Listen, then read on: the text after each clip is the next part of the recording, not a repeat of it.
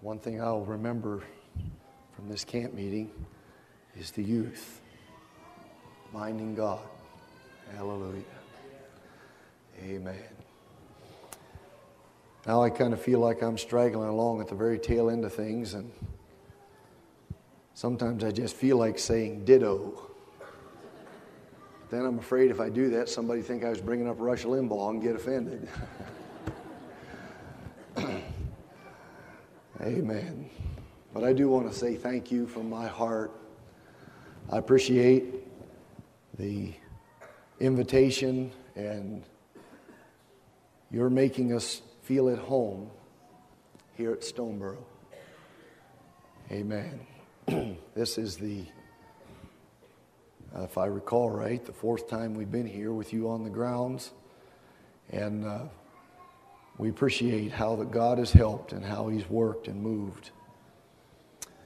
Upon arriving here, we were over at the registrar's office, and I turned and looked at that board that's over there, all those old timers that have preached and prayed and declared the herald, the gospel of holiness from this place, that's just about enough to intimidate a country church preacher.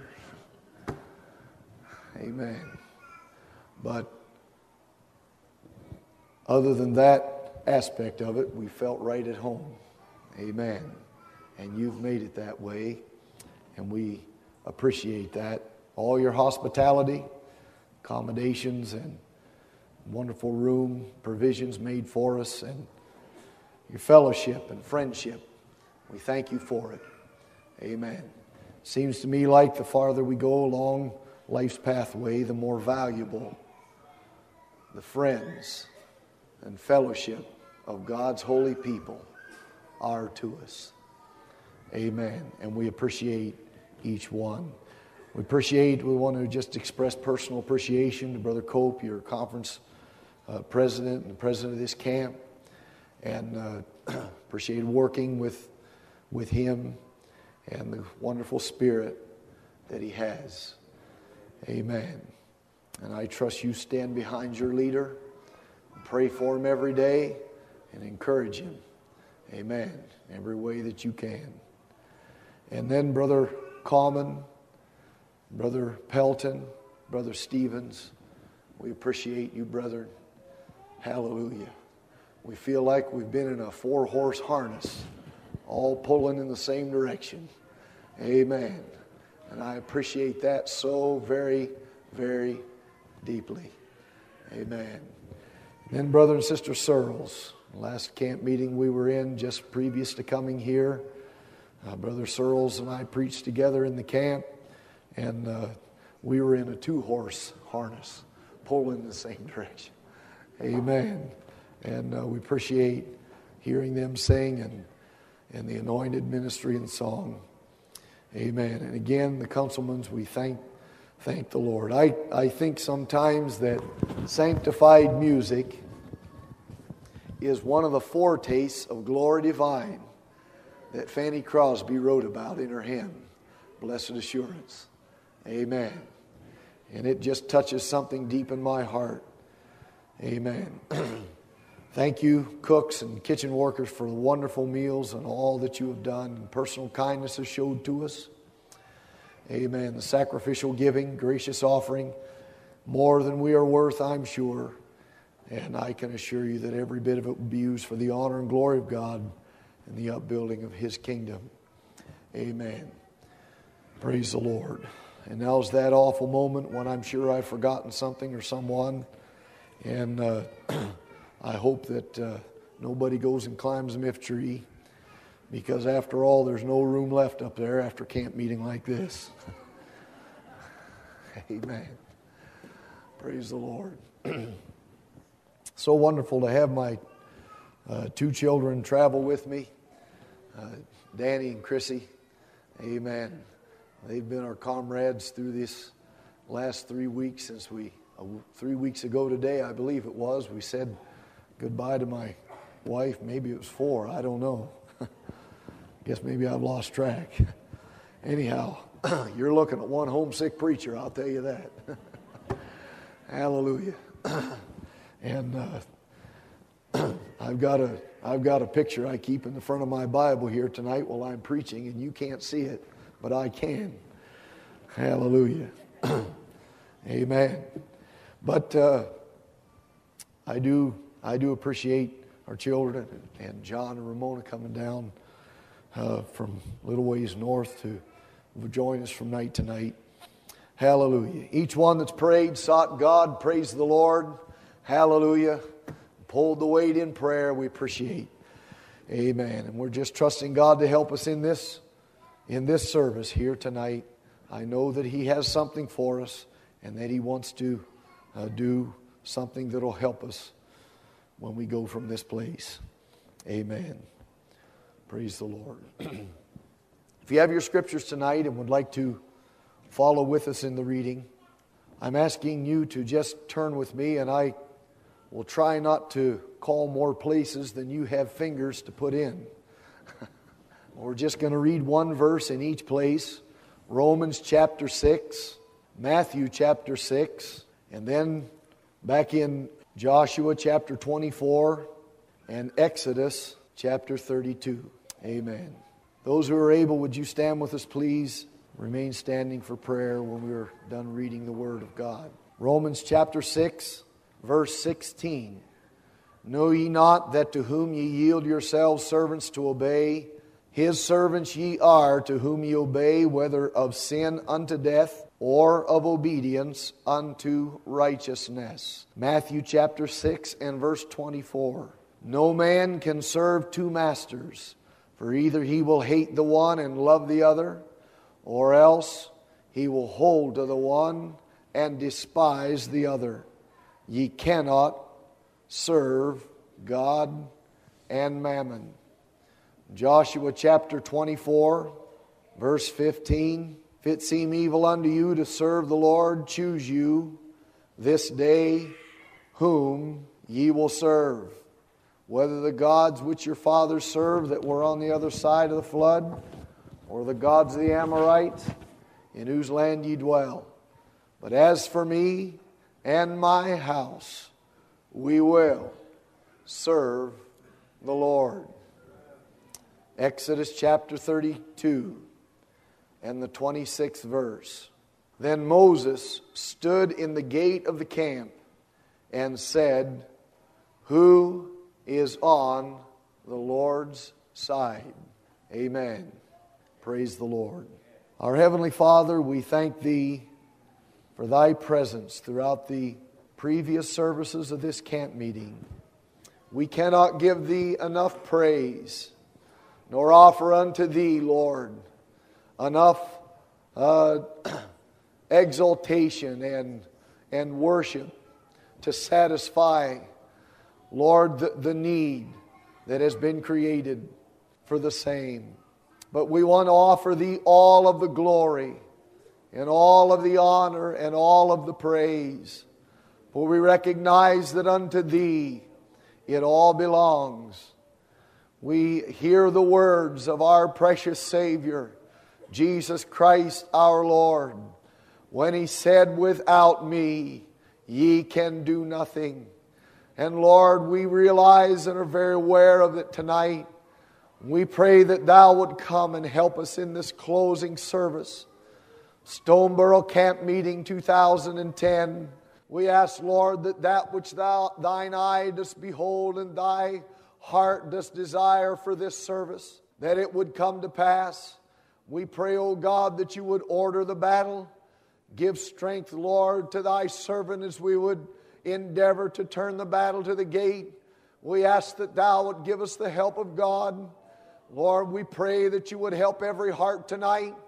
We would be enabled by the help of thy Holy Spirit, the administrations of the Blessed Comforter to put aside from our mind, from our heart, everything that is distracting or diverting or unworthy. And attach, Lord, our attention to the vital issues that stand before us in this service tonight. May the devil not be successful in duping any soul out of the victory that has been bought for them upon the cross of Calvary. We ask in Jesus' name, but we ask, Lord, that thou wouldst prevail. O thou lion of the tribe of Judah, in this service tonight, we pray, Lord, that you'd push back and force back, hurl back every foul, demonic, unbelieving spirit, and give glorious victory through the name of Jesus to every obedient heart. We ask in Jesus' name, unto thee will return all of the praise and glory and honor for everything that thou dost do, for only unto thee does it belong. For we ask it in the precious name of Jesus and for his precious and worthy sake. Amen. You may be seated. Now, I took my breath a little bit this afternoon. I kind of inhaled suddenly when the preacher asked us to turn to 1 Kings chapter 18. Amen. But God knows what He's doing. Yesterday afternoon, I'd felt the Lord laying on my heart to preach on the home. And before the service, the Lord took that message completely away and gave us a message on holiness. He knows all about that. Amen. Hallelujah. And then uh, this afternoon, our brother brought that wonderful message uh, concerning the home, and I'm so very thankful for it tonight. Amen. It just is an amazing thing to me how, when we're workers together with God, that He knows how to order the battle according to His will. Amen. But tonight I would have you to just consult whether you want to turn there or not. Very well known words for our text. And they are found in 1 Kings chapter 18. Perhaps have been read. I think they were already in this encampment. 1 Kings chapter 18 and verse 21 And Elijah came unto all the people and said, How long halt ye between two opinions? If the Lord be God, follow him. But if Baal, then follow him. And the people answered him, Not a word. The words of our text tonight is, How long halt ye between two opinions? And I would like to title this message tonight. I do not often do that. But I would like to title this message, A Call to the Undecided. A Call to the Undecided. The first night of this encampment, our brother preached to us from various texts upon the subjects of standing between two infinities. I don't know how many of you were here, but God surely anointed that message at the outset. And that is where the closing service of this encampment finds us tonight. I'm persuaded in my own heart that there are some that are found on the right side that at the beginning of this camp meeting were located on the wrong side of that proposition and we thank God for everyone. But the truth tonight, I cannot express the concern that I feel in my heart and have felt throughout the afternoon. I can only just breathe it out in prayers and groans throughout the day. But I feel in my heart a concern Perhaps it's a concern for the future of Stoneboro Camp, as our brother has mentioned. Perhaps for the Allegheny Connection. Perhaps it is for the entire holiness movement as we have known it.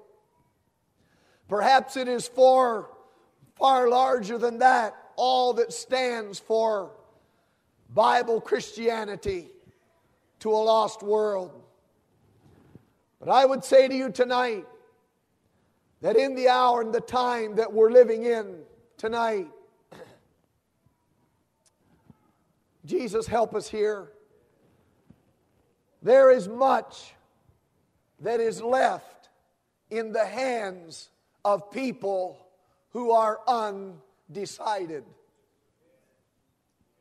There is much responsibility that is lying upon the hearts and lives of people who are in the reality of their life at this, mo- at this very moment undecided. It has been impressed upon me for years, several years now, in traveling around to various places and, and encountering some of God's very choicest people. It has been impressed upon me again and again that there is a little crowd who is determined to make heaven take the way of the cross, whatever it costs. Those people are not going to change their mind. They are settled, they are determined. Amen. Everything that the devil brings against them to rock them back on their heels only serves to entrench them deeper in a determination to serve God and make heaven their home. Glory be to God for every one of them. Amen. But I've also come to discover that there is also a number of people whose mind is already thoroughly made up. They're not taking the way of the cross. They're not going to strip for the race. They're not going to follow this way that radical preachers talk about and that old fashioned holiness people testify about. Amen. Come on, friends. And that's the, that's the facts of the case. Across our holiness churches, almost without exception, almost every congregation, if not every, there is a number that are determined to go the way of the cross. There's a number that are determined not to. Amen. And in between that stand all the rest. They stand there if things seem to begin to go for the uh, old fashioned crowd and God's blessing and the fire's falling, then they'll begin to gravitate their direction and begin to think what it might mean to count the cost. Uh, but if things begin to go in the direction and the currents begin to turn in the direction uh, of other individuals who are just as determined not to take the way of the cross, uh, things begin to look that way more prosperous and, and money begins to call and pleasures begin to beckon uh, and ease loving lifestyles begin to plead for their life. Uh, amen. Come on, friends. Uh, amen. When that begins to happen, uh, then that lukewarm, uh, sold out crowd to the lukewarm way, uh, that's the ones that begin to carry the day as the undecideds begin to swing over onto that side. It is not just in the church that this is the case. It's the case all around the world. Amen. We're coming down into, into the heated times of election cycle in our nation. And as the days close in, and as the issues begin to be defined, and people begin to stand out as the ones that are uh, candidates for this or for that or for other office, pretty soon uh, uh, there is a, uh, towards the end of the thing, there is a heated, expensive, all out endeavor to try to win over the minds of those people who are undecided. Amen. And they say you can never tell which way they're going to go. They might go for the liberal one time and they'll go for the conservative next time. And these people are the ones that take to themselves high honors and high mark for being open minded and all of the rest of the rubbish. They're just too gutless to make a decision. Amen. Hallelujah. There are issues that are rising up, some very rapidly that we've heard of uh, during this camp meeting. I have not listened to news since I came uh, to the campground. Uh, that's part of the fast that God puts me on during the uh, during camp meeting, and uh, that during that time I haven't heard, but someone said that there's an issue that has moved rapidly up in the courts from the state of California until it's coming right now, uh, probably going to come right into the Supreme Court because the way it's going is a fast track. Uh, amen. And uh, and that's uh, that's a. I'm not going to go into what it is. I haven't. I don't not really uh, aware of the details of it. Uh, but as you think about it, you think, oh no, I wonder how it's going to go. There's been these issues that have come, and pe- those justices have gone off uh, on the on the wrong side, and then they come over and they come down on the right side, and and there's some that are solidly conservative and and moral in their values. There's others that you just can't. There's others that are liberal in their and without uh, borders and boundaries in their morals, and it's very evident when that's the case. But there's others that are in between, uh, and those are the ones that hold in their hands uh, the decision, and they are the undecided ones, the least worthy to make the decision are the ones that it's left in the hands of. In this crowd tonight, I'm talking to some that buried deep within your bosom by the inspiration of the Holy Ghost and through the atoning blood of Jesus Christ. Hallelujah. And by the grace of an almighty God, praise the Lord, there is buried deep within your bosom an unflinching determination to go through with God, whatever be the cost. Hallelujah. I'm talking to some tonight in this congregation uh, that you never have settled the issues and you're satisfied uh, to go the way of the world. Uh, amen. You'll still stick around and be counted among the number. But I'll tell you something, friends. Uh, your pull is consistently towards the liberal and towards the worldly and towards the fleshly. Amen. But a great number, a great number will be among those who are the undecided. Let's come to our text tonight. The conditions at the time of our text Ahab, the truth hating, world loving king, is ruling over Israel. And Jezebel, the earthly, sensual, devilish queen, is ruling over Ahab. Together, these two have led the people into such gross idolatry that the judgment of God has been let loose from heaven. And Elijah has walked into the king's throne room and he has lifted up his voice with very little pomp and ceremony and said, Until there is word from me, there will be no more rain in Israel. And now, three and a half years have gone by, and there is drought, there is famine. Elijah comes and he confronts Ahab. And Ahab looks at him and says, You are the troubler of Israel. And, A, and, Elijah says, I have not troubled Israel, but you have troubled Israel. And he calls together a meeting of all the people to appoint on Mount Carmel to come to a place of decision. And when they have all gathered together and met there on top of that mountain, Elijah stands up and he confronts them with this simple question How long halt ye between two opinions? It's going to be Baal or God. You can't serve them both. You've got to decide which one you're going to serve. You can't serve both of them. Amen. You must choose. And how long will it be until you decide? Undecided heart. I ask you tonight, how long will it be until you decide? How long will you ride the coattails of saints that are going on one by one, going down the valley, and their number becoming less and less? Enjoy the overflow blessings. But just about the time it's more advantageous to go with the worldly set, you'll be just as swayed by them as you are by the old time crowd when the fire's falling on them.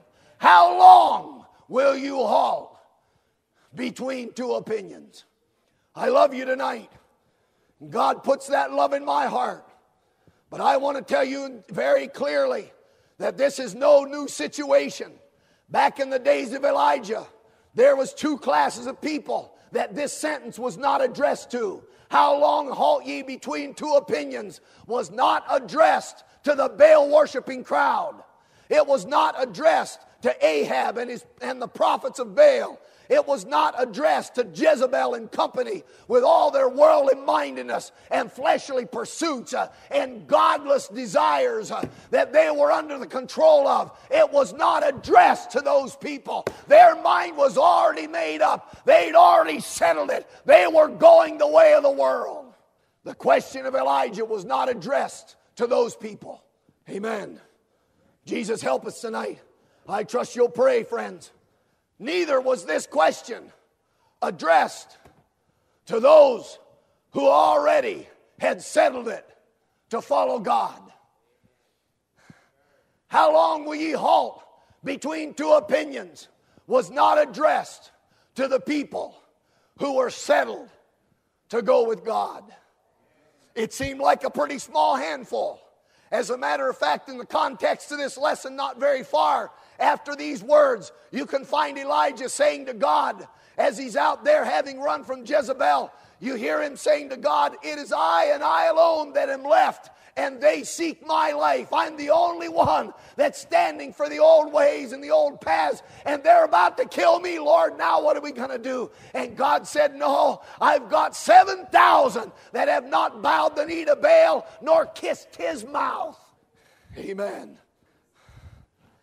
Glory be to God.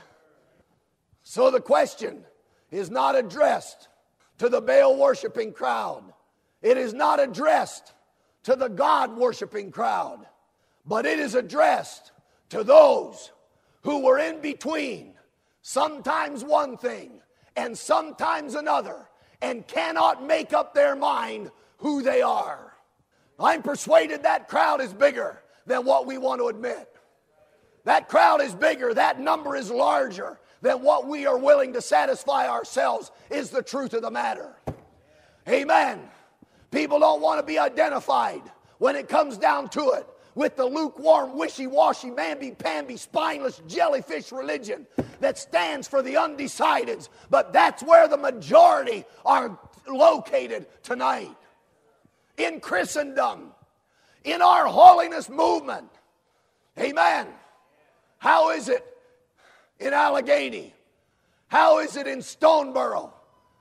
On Thursday night, August the 19th, 2010, that we may properly understand who is designated as the undecided. I would like to be particular and just name them out.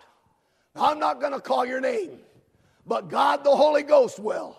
He's very faithful to do so. And if He locates you tonight, I want to tell you, my friend, it may not be that you need a trip to the altar to blubber and bawl and boo hoo for a half hour, 45 minutes, or three and a half hours. You probably just need to take your willing hand uh, and for one time in your life say, I will serve the Lord. I can't answer for anybody else, but everybody that walks inside of my shoes and wears my suit uh, and puts my hat on is going to serve God. Hallelujah. Glory be to God. The very best day in your life is when you get out of that undecided column and settle it on God's side. And I'm here to tell you, you can have it settled. The reason why the fire can't fall on undecided people because about the time they get squirming over towards the side of the people that have the fire and they're just about to get in the place where God's going to send the fire, they look off and see something happening over there and whoa, whoa, whoa, whoa, whoa, and away they go and boom, the fire hits right where they were an hour ago. Amen. You can get it settled. You can get it settled in your heart.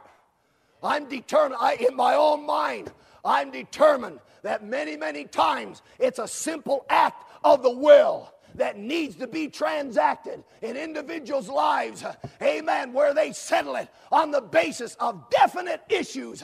I will serve the Lord. Here's the first class of the undecided, probably the largest. These are those who are among the worshipers of God, but their heart is not with them. They're among the worshipers of God, but their heart is not given to God.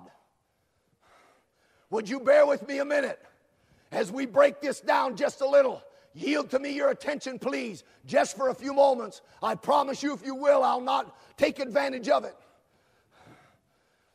But among this class are those who, by early training and childhood teaching, have come to learn the ways and the truth of godliness and true holiness. They understand what it means. They understand how uh, to dress and how to act. They understand what the performances of a sanctified person involves. They've learned that by watching, by learning, by teachings, by preachings, by examples. They've learned that. It's a part of them. It is a part of their lifestyle. It's they've just been raised up that way. Uh, amen. But that poor soul uh, that has never gone beyond that and had an had a personal encounter with God Himself. Uh, that is a person, my friend, who is listed among the undecided ones tonight. Amen. And thank God for early training, childhood influence, and teaching. Amen. And all that's involved. But I want to tell you something. I thank God for it in my own life and all that it brought. Hallelujah. I'm glad there was a fear of God that was put down in my heart until when the opportunities of sin and Satan began to open themselves and demonstrate their availability to my life as a young man. Amen. I found something in my heart that was very willing to take that way and go the way of the world. But there's something that rose up within my heart that was instilled in there by early training. Uh, amen. I can't do that. I can't do that. And it began to just make me sick. Amen. Glory to God. But there had to come a day, and it came, glory to Jesus, on January the 12th, 1984. Hallelujah, bowing in a little parsonage. Uh, amen. Praise God forever. I yielded and said yes to God on the thing that He was pointing at. I said yes to Him. Uh, hallelujah, on the issue that He was after. I say, Praise the Lord. All I told Him was, Lord, if you will speak to me, I'll do whatever you say. Amen. And he spoke. Praise God. I'd prayed three days. I'd prayed that prayer for three days. I thought I'd crossed the deadline, Brother Cope. I thought I'd played fast and loose with God. The horror of my condition began to uh, began to roll all over me, uh, and I began to think, my God, there's no hope. Uh, and I began to pray, oh God, have mercy on my soul. God, be merciful to my soul. Amen. And that night when I knelt inside that little uh, room, shut the door behind me, and got on my knees and said, oh God, if you'll just speak to me one more time time. I'm sorry for all the times I said I'd do it and I didn't. But if you'll speak to me one more time, I promise you, Lord, I will obey you. Amen. I came to my senses laying underneath the window over against the far wall, but God had spoken to me. Praise God. And I knew what He'd said. He said to me, If you mean that, you get up and go down to the bathroom and shave off your sideburns. Amen. That's what He said. I've heard the little snivelly whinies come along and say, hey, it's okay to have my sideburns. I can have all of my want. Yeah, yeah, yeah. That's what I used to say too. I say, you haven't talked to Jesus yet. Amen. Glory to God. Amen.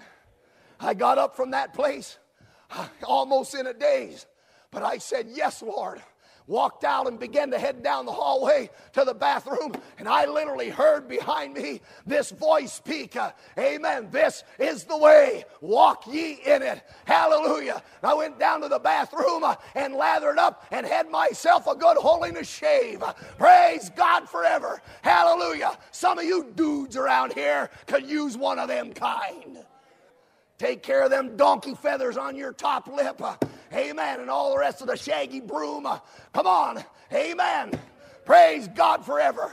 Brother Downs used to say, Your poor wife, uh, when she kisses you, must feel like she fell face down on a broom.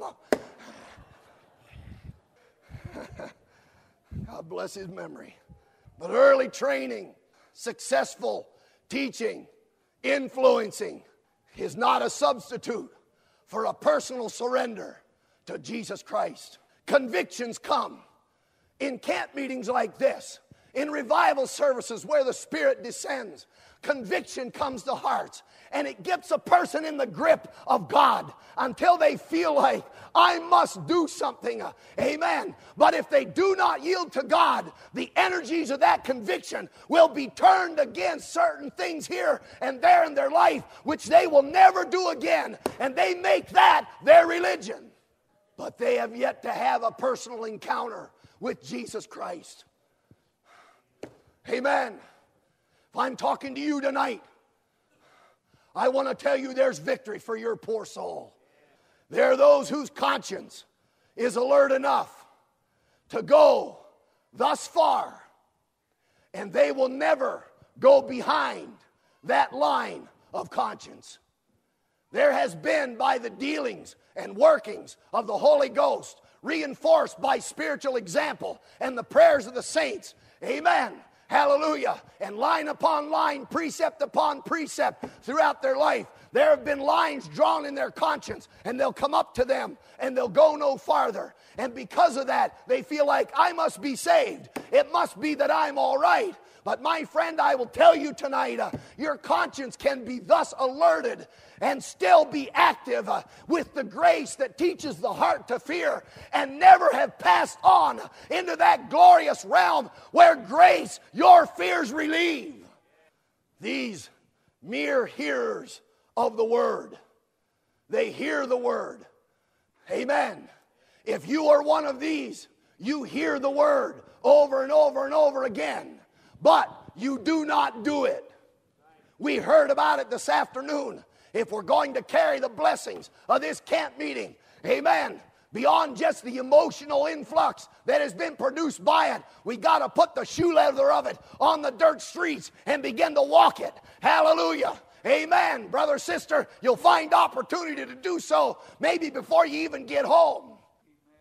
Be ye here doers of the word, not hearers only, deceiving your own self. If any be a hearer of the word and not a doer, he is likened unto a man beholding his natural face in the glass. For he beholdeth himself, and he goeth his way, and straightway forgetteth what manner of man that he was. Amen. The undecided tonight. Then there's the class of the undecided who are satisfied to avoid gross and scandalous sins. Amen. They are comfortable. Are you listening to me tonight? Amen. They're comfortable. Just so long as their feet are not ensnared in the gross crimes and the flagrant species of iniquity that walk the streets of our modern cities. Flatter themselves. I've never done that. I've never done that. I've never done that. But yet, still have no delight in the worship of God, have no love for the secret place where it's just between you and Him. Amen. Have no attraction to the burning realities of God's holy word. There are those who desire, hear me tonight, there are those who desire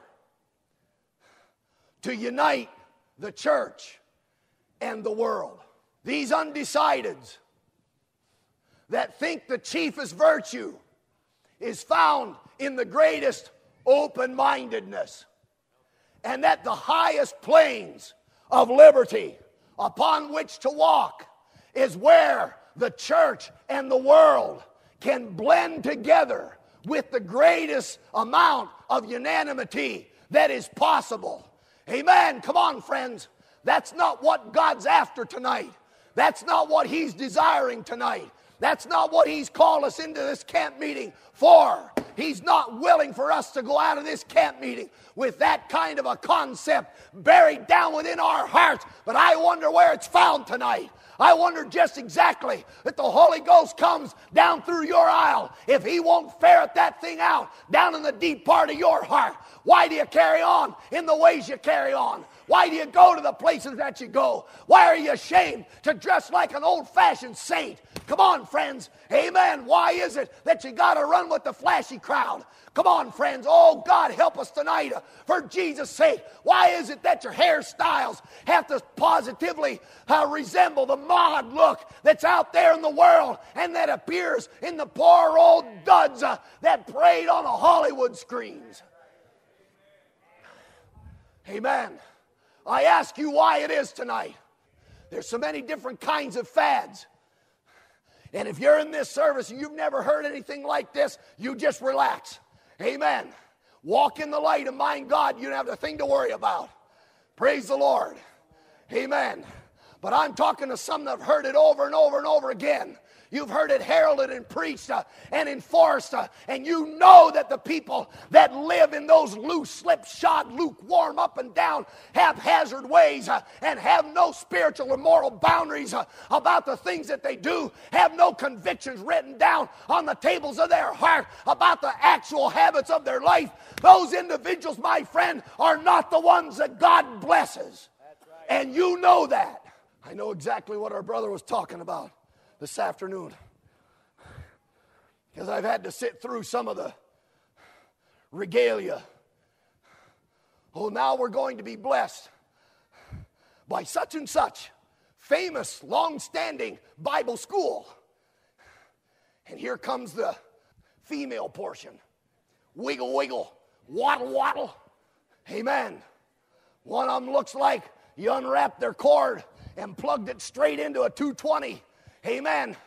And their old hair goes, amen. If your hair goes that way naturally, that's because God made you that way. That's fine. Amen. That person, you know, their hair is just as straight as a shoestring, and they had to go and plug. What in the world did you do to get it that way, anyhow? And fr- oh, it's in a bun, preacher. It's in a bun. Yeah, about 6% of it's in the bun. And 94% is waving out there in the merry little breezes, waiting for the cooties to, to fly by and make a nest in it. Amen. Come on. Why on that, preacher? Because that's a testimony. That's a testimony that down in your heart, you identify with the undecided. It's not a marginal issue. It's not a peripheral issue. Amen. God the Holy Ghost knows how to write His law down within your heart. And as you walk in the light of it, He prays, God will bless you. Praise the Lord and pour out His Spirit, and the fire will fall upon your life. And standing right beside the one as they're getting ready to sway them. Amen. Standing right beside the first feminine sample is feminine sample number two. And she don't have the 220 straight direct current look. Amen. She's looked like she stuck her head in a vat of mama's or grandma's hog lard. And it's Amen. But it follows this weird little thing, you know. Comes down like this just leaves your eyeball sticking out. Amen. Say, preacher, doesn't matter, doesn't matter, doesn't matter. It does matter. Amen. I mean, it does matter. I can tell you why it matters. If I still got it in here, let me see. This is a dangerous thing to do because I probably took it out. I carry around sometimes, and I guess I don't have it tonight, a thing I clipped out of a Reader's Digest article that said, This is what the fad's going to be next fall. And that's just the way they said that it was going to be. Hey, some little soapbox hero that doesn't know who they're married to, amen, and's had this one's baby and that one's baby, and oh my God, help us, amen. That person, uh, they started comb- doing their hair, amen. Looks like their one ear is about an inch and a half higher than the other because every hair is a high tension wire. Amen. And she comes pressing up. Praise the Lord, folks. Amen. Hallelujah. Yeah, glory to God. Hallelujah. I'm glad you brought that up, brother. Praise the Lord. God help us tonight, friends. You know these high heel things. You know what that's all about? That's part of the sex craze. It runs the red light district. It's what helps the prostitutes to model themselves as a good bargain. Say, I don't like that, preacher. That doesn't matter. I say again, if you've never heard it, just say, Yes, Lord. Amen. Throw them out, walk in the light, and God will help you. Praise the Lord. But some of you have heard it before. You know it's the truth. Those big old high heels, they stand you way up and they lock up they lock up your knees and your legs that are supposed to be able to absorb the impact of your weight as it falls upon the ground. It locks up all of those God given uh, conditioners and it makes all the movement turn to your hips. And you go wobbling, bomb, bouncing, and bobbing across the street and across the campground, and everybody's supposed to say, Oh, sure, there's one of God's saints. you know that doesn't fit. Amen. Now, I'm not going to spend the whole sermon dressing down these things, but I'm going to just give you enough to illustrate so you know exactly what I'm talking about.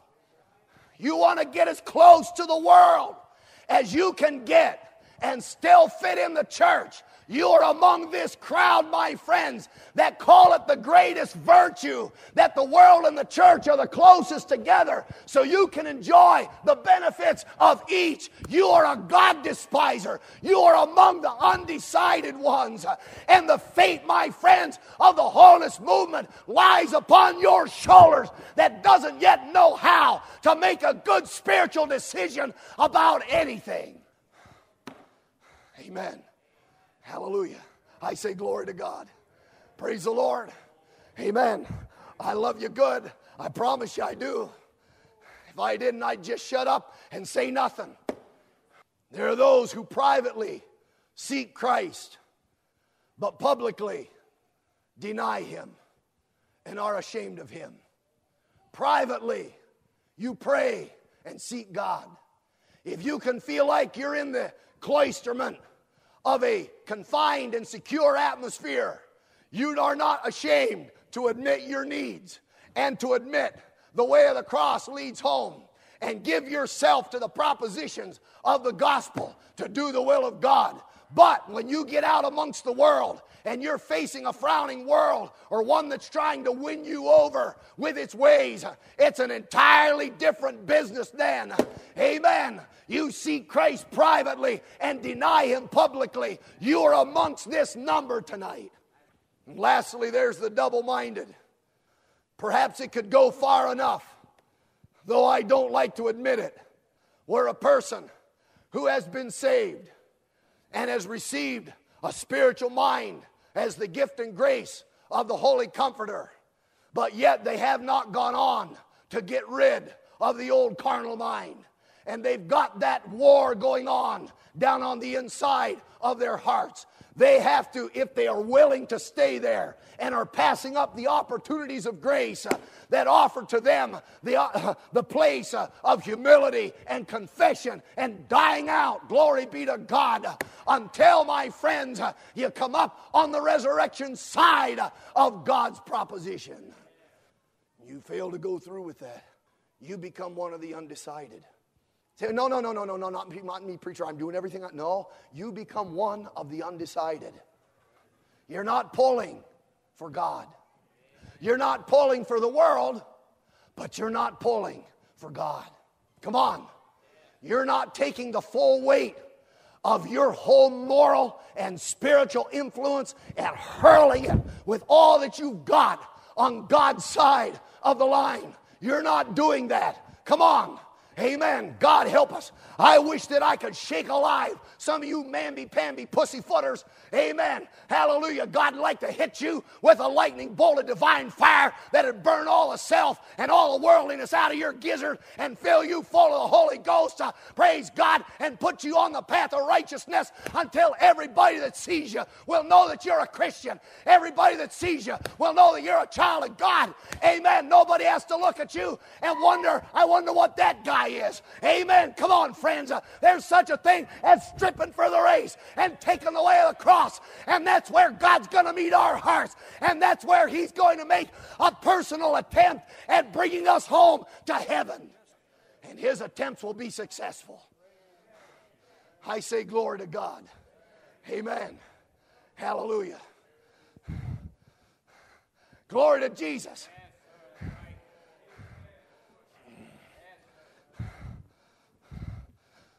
Oh, God, help us.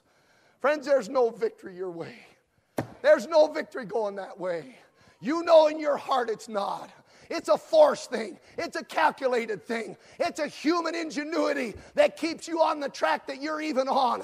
And there's no divine influx of, of righteousness or peace and joy, such as to comprise the kingdom of heaven. Amen. Through the Holy Ghost. You experience none of that. Amen. It's all a dearth and an emptiness. And in your quiet, private, honest moments, you have to admit that.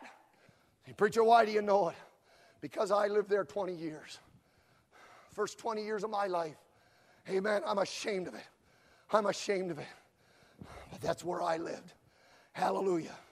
God got me out. Praise the Lord. I'm glad He did. Amen. But I found out it's the cross that has the glory. Amen. We think that it doesn't matter, but it does matter. Amen. You think that it doesn't matter. I remember out in the the meeting, first time we were out to Nibs there. And God got that little crowd in his grip down there in that basement place where they worshiped then. Amen. One after another, God was dealing with. And they just go and take care of the thing that God was. I'll tell you, God's all over the place. Hallelujah. I remember that. I'll never forget it. Amen. I remember one fella that I could reach out and almost touch tonight. Amen. God talked to him about one of his flashy ties, and he head over to the place, and he came back. He said, "I got rid of my flashy ties. By the way, Dad, I got rid of a couple years too." Maybe you forgot that, but I didn't. Amen. Hallelujah. It doesn't matter, doesn't matter, doesn't matter. Little thing, little. If it's so little, why don't you get rid of it? If it's so little, why don't you turn loose? I'll tell you why. Because you have festering in your bosom that infernal sore. That's the plague of the very pits of hell. You think that it's the greatest virtue to get the world and the church as close together as they can get. And then you have the greatest opportunity to save them, you know. No, you don't. You get them that close together, and the church is lost. It's power, it's attractive power, it's convicting power, it's saving power, it's sanctifying power. It's gone. In Michigan, her brother, Fluelling, give this illustration. In the state of Michigan, some of you will have heard it probably, but there was a pastor that's determined to have revival, and he set up to have revival meeting. He couldn't find a preacher, so he just started preaching it himself. They went for a week. Nothing seemed to happen, but that pastor was determined. Amen. The church would fill up. There's a lot of people, but there was hardly any seeking. This seemed like no success. And the thing, another week they went on. Nothing happened. He said, I'm not going to give up yet. And it went on a third week. If I remember right, he went on the fourth week, if I recall correctly. And on the end of that, on Sunday night, he said, Folks, maybe I was mistaken. Some words to this effect. Maybe I was mistaken in trying to have a revival meeting right now. I apologize that you have come out night after night. I thank you for your disconvenience to yourself and your schedule setting it aside, coming honoring the, uh, the desire for God's visitation and for revival. But apparently, this is not the time that God has chosen. And so tonight, we are going to close the revival meeting with this final service. But as he made that announcement at the end of his message, a little lady stood up, said, Pastor, can I say something? She said, I've traveled into these services to get here for every service. She said, I've traveled over miles. It's been at great expense and inconvenience. But she said, I've made it a purpose to get here night after night, herself and her children, as I recall the story. And she said, in the, in the coming, she said, I've had a hunger that God would do something real in my heart and in my life. She said, I've, I've been wrestling with a little question that God, it seems, keeps bringing me back to again and again and again. I have dismissed it, that it's just a little thing and it's not going to matter. But she said, I, I, I see that I cannot dismiss it anymore. She said, God has spoken to me And so I'm going to mind him, and I'm going to mind him right now. Amen. Back in those days, a lot of the ladies, for weather and for one other sake or another, they wore a little hat of some kind on their head. And they would they would put a pins in it to hold it to their hair. And she had in that one pin that was kind of diamond studded or some kind of fanciness on the end of it. Amen. And when she said, I've determined to mind God, she reached up and got a hold of that hat pin and she drew that fancy thing out of her hair. And when she did, the power of God hit her and she fell headlong in between the benches. I'm not putting any premium on demonstration tonight. This wasn't something she or somebody else did. Uh, amen. God did that. The power of God hit her and she fell. Amen. And she lay there and the power of God spread all through that little congregation uh, and it broke the whole place up. Uh, amen. And they sought at the altar till the wee hours of the morning and the revival meeting went on night after night, week after week uh, for five or six weeks. Uh, and then when the people there were worn out, it went down the road into a church of another denomination uh, and it broke out there. Hallelujah. And when it was done there after a number of weeks, it went to another place and it broke out there and multiplied. Hundreds of people were swept into the kingdom of God by the force of that divine avalanche. My God, help us tonight, friends. What was standing in the way of all that divine tornado? I'll tell you what it was one little thing. We don't want to see it that way. We want to think when God talks to us about something, we have the right to decide whether we're going to do that or whether we're not. Brother, sister, I want to tell you tonight you are amongst the undecided. You are the compromiser. You are the wishy washy one. You are the one that does not know how to make a proper spiritual decision, but the weight of the future of perhaps Stoneboro and Allegheny, amen, and the holiness movement rests upon you and people like you. And if you don't mind God, my friends, what's going to take place, only God can tell us. Amen.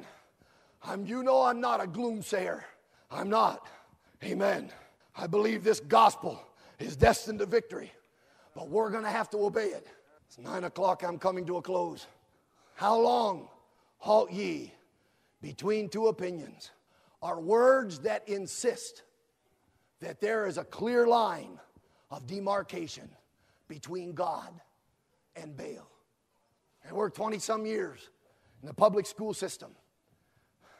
And one of the mottos that they had was between black and white are many shades of gray.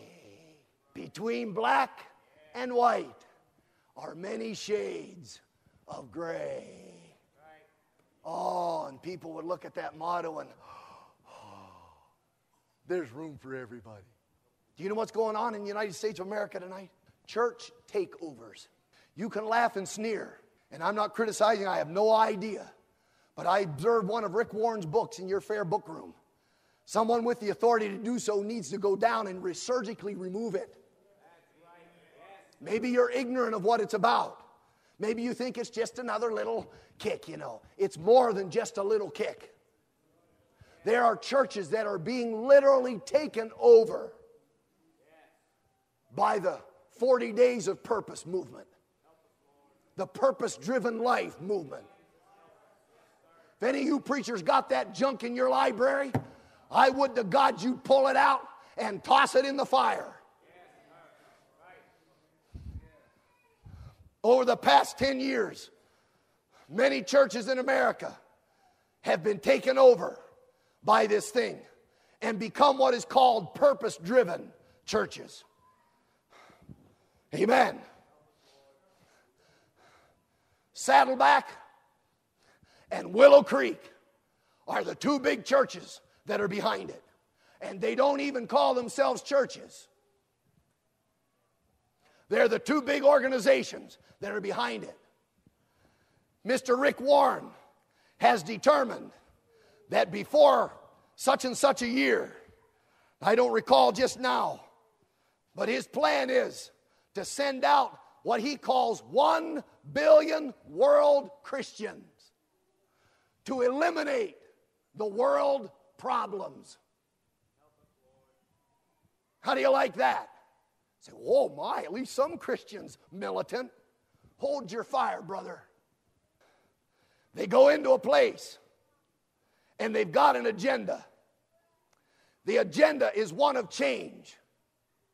They first go in. Many times it'll be with the ushering in of a new pastor. Nothing wrong with a new pastor. But many times this is when it happens. And there comes mysteriously along with them a surprising addition to the congregation that seemed very devoted to its interests. And everybody is so glad and happy. These are kind of upper crust people that seem to know the ins and outs of the thing. Praise the Lord, we're growing now. My, this is wonderful. But those are people of influence that have been highly trained by the initiative arm of Willow Creek and Saddleback, and they know what they're doing. Maybe you've never heard this, maybe you have. If you haven't, you're going to hear it now.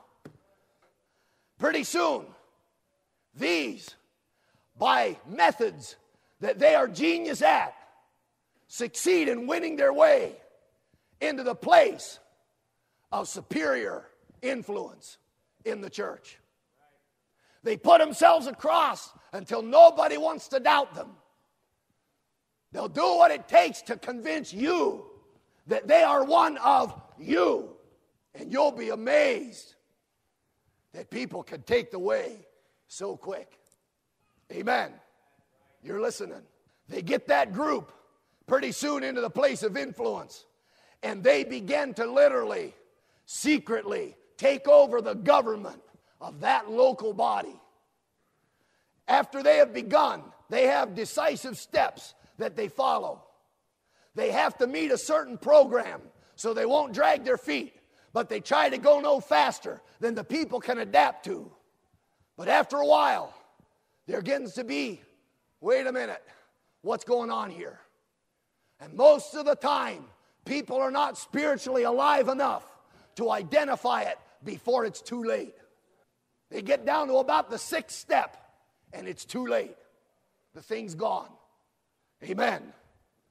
After the after they realize that they begin they are beginning to be noticed in their takeover.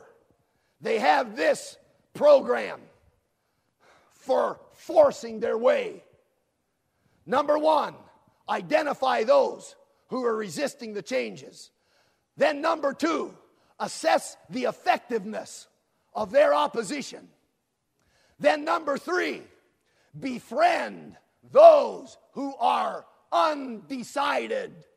Befriend those who are undecided. Marginalize the influence of those who are determined opposition and begin to vilify those who make up their mind they're going to stay in it and fight you. They're planning on you leaving, and then they take it over. Then establish new rules that will silence all resistance. Isn't that convenient? You know what some of their marks of their takeover is? Can I read you a few? Change in music to contemporary style. Come on. Amen. And I'm not here to find fault with your fair Bible school. And I'm not here to find fault with any Bible school. Amen. We need all of them, but we don't need them half hearted and wishy washy and compromise them. Amen. We need them red hot and on fire and going for God with everything they got. But I want to tell you in the music programs of many of our big name Bible schools, it's contemporary, contemporary, contemporary. After a while, hymn books are removed. Special stinging stops. A big screen is put up in the front with an overhead projector so we don't have to worry about our song books anymore. So nice. The organ and the piano are by mysterious process moved out. And weird things are brought in. Things that you didn't even identify as musical instruments. There's repetitive singing of little one line or two line praise choruses. Praise leaders are elected, worship leaders, praise leaders, and they begin to take a great deal of influence in the church. After a while, the trend is to dress down to casual attire. Don't dress up suit and tie to come to church. Don't dress up, you know, in your good clothes to come to church. Just come in your laid back, casual stuff. Easy going. After a while, they'll even have Pajama Sunday. So you can get out of bed at the last minute, get in your car, and come in your pajamas. The way you dress some of you in public, I'd hate to see you in your pajamas. Amen. Soon there's elimination of business meetings, board meetings, committee meetings. Councils and boards are done away with, and everything is being decided. There's not open and clear uh, and decisive reports on monetary and fiscal responsibilities. And pretty soon everything's just in kind of a mucky, murky mess, and nobody knows what's going on. It's the setup. And brother, if it hasn't come to your church looking yet, it will within the next year or two. Those fellows are trained you better watch out for them. I'm not going to read any more of that. Dr. Warren stated on May 23 in 2005 at the Pew Forum on Religion and Public Life, quote, the word fundamentalist actually comes from a document in the 1920s called The Five Fundamentals of Faith. It's very, very legalistic and it's a narrow view of Christianity. The five fundamentals of faith, when he was taken to task about it, that he objected to were are you listening? He objected to the inerrancy and full authority of the Holy Scriptures. He objected to the virgin birth and deity of Jesus Christ. He objected in the Pew Forum, May 23rd, 2005. He objected upon inquiry to the fact or to the idea of the actual bodily resurrection of Jesus Christ from the dead. He object to the personal uh, atoning of Christ's blood and his vicarious death for the sins of the world. And he objected to a literal, personal second coming of Jesus Christ. He objected to those things. Said that's a strict, legal, narrow view of Christianity.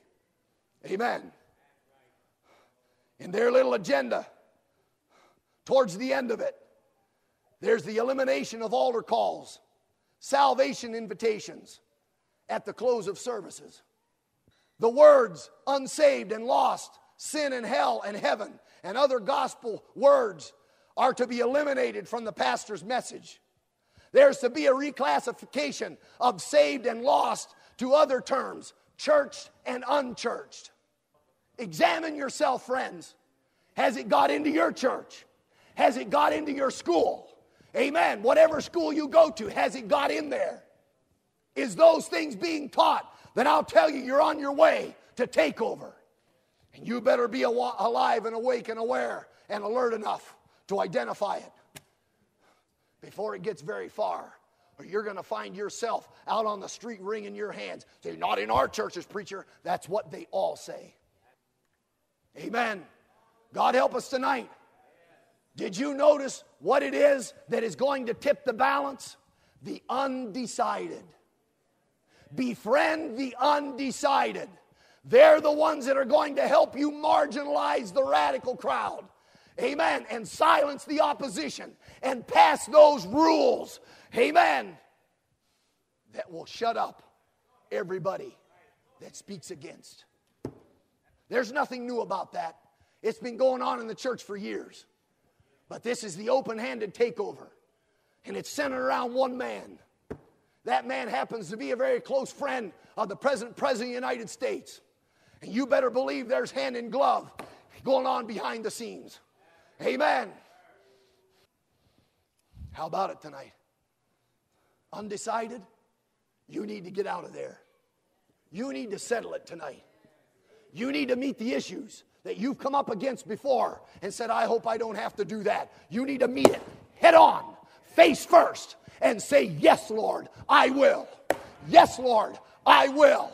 If it means cutting off a right hand, figuratively, plucking out a right eye, cutting off a right foot, amen, and hurling it from you. My friend, that's the price of saving your soul from hell and your family from perdition. You better be willing to pay that price. These words mean how long halt ye between two opinions? That there is a defining moment where every person decides finally who they are going to follow. And they'll never turn from that. Not that they won't have choices to make along the way. Amen. Hallelujah. But there comes a defining point. Eternity will show when you look back. He made, he settled it there. Glory be to God. He settled it there. Hallelujah. For this country boy preacher, amen. It was January the 12th, 1984. When was it for you? When was it for you? Do you remember? Yes, sir. Hallelujah. Praise the Lord. When? In 1983. Hallelujah. Glory to God. When was it for you? Hey Amen. He's thinking about it. When was it for you? 1978. 1978. Glory be to God. When was it for you, brother? October 5th, 1990. Hallelujah. Glory be to God. Amen. Now, some of the rest of you are scared to death. I'm going to come and ask you, why are you scared? Come on. Why are you scared? I'm not trying to pin anybody down. Amen. And I don't mean that if you don't know the name, the, the exact date and time, that you're unsaved, unsanctified. But, brother, there's something in your life that took place, and everything before that was before Christ, and everything after that is after Christ. Hallelujah. And that stands out like the red letter day of your entire existence. Glory be to God.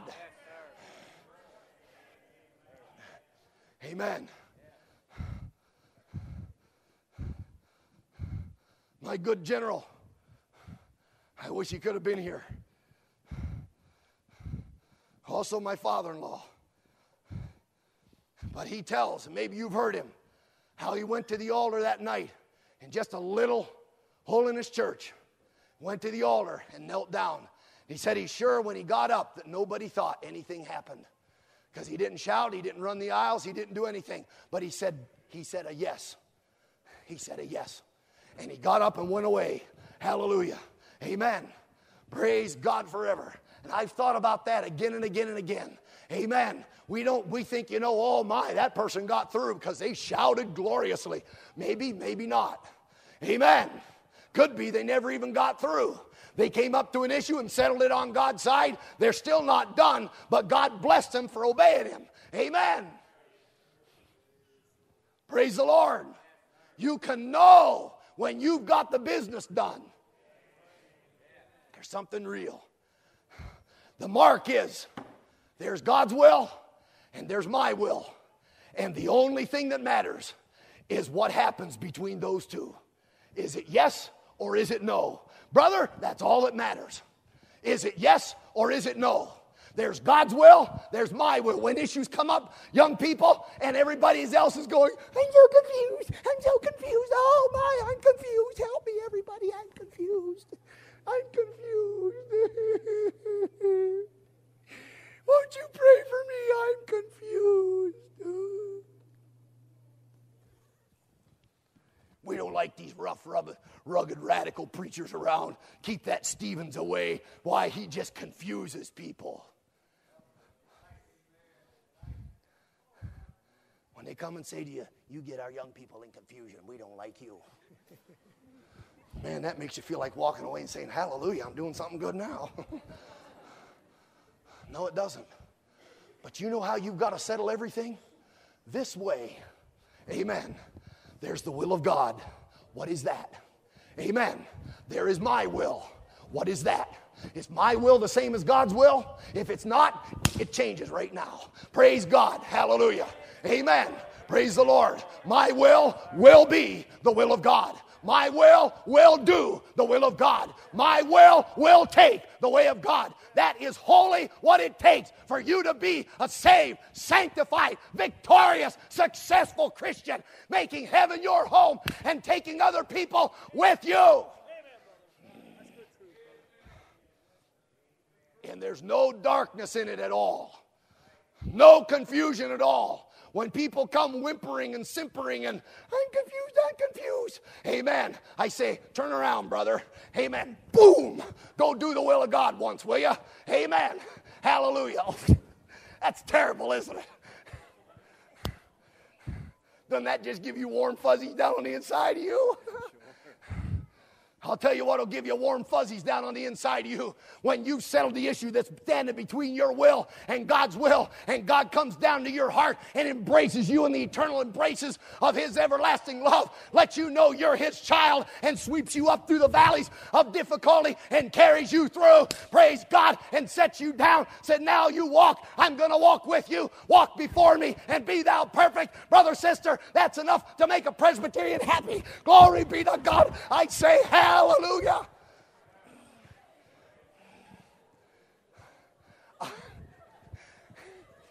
I'm sorry, brother.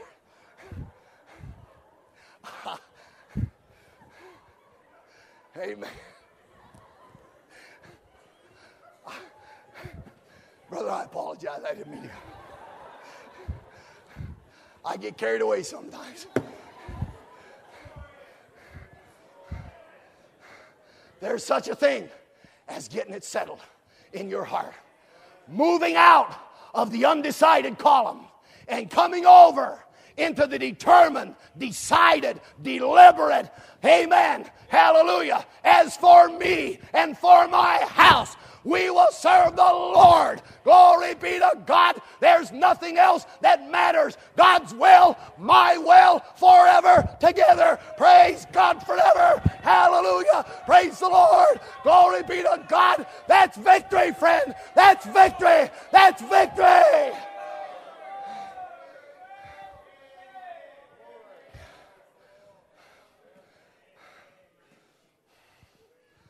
Amen. You may not run and hoop and carry on, but you can know in my heart, it's God's will for me forever. Hallelujah. Amen. What about this? I don't know what about that. Oh my. Oh, that looks big. But it's God's will for me forever. Hallelujah. Glory be to God. Amen. Praise the Lord. Love not the world, neither the things that are in the world. If any man love the world, the love of the Father is not in him.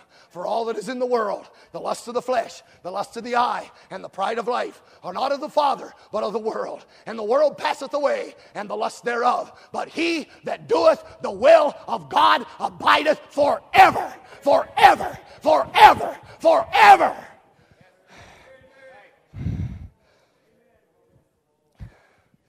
Hallelujah. Praise the Lord. You got a blue songbook by you there? A forgiving spirit in my brother. He just run right to the organ. I appreciate it. Amen. Number 168. If you are a person tonight who has recognized in this service, I have been one of the undecideds, preacher, and God sees my heart. But my days of indecision are done. I make that choice firmly, finally, and fully right here, tonight. And you're willing to declare that. Amen. Why don't you come up here and join me up here in the front? Hallelujah. Now, if you're one of God's own and you've had it settled for years, I'm not talking to you. Amen. If you're some others, you know, I'm not going to do that, then you just stay where you are. But if you've been one of the undecideds and you got it settled, you're going to settle it. I'm going with God. This is for you. Hallelujah. Number 168. Hallelujah. Amen.